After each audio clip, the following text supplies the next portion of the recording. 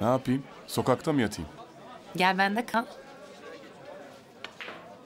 Diyeceğim de sürekli olunca sorun olur.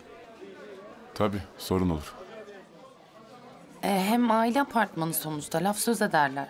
Ben de sinirlenirim, millete çatarım. Huzurumuz kaçar. Öyle tabii. Yani hayır evli olsak neyse.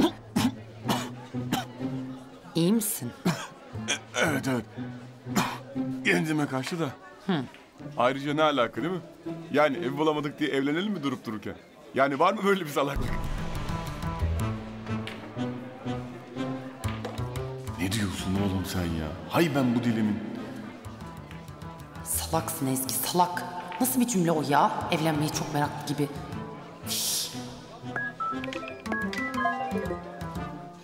Sinem yazmış toplantı var.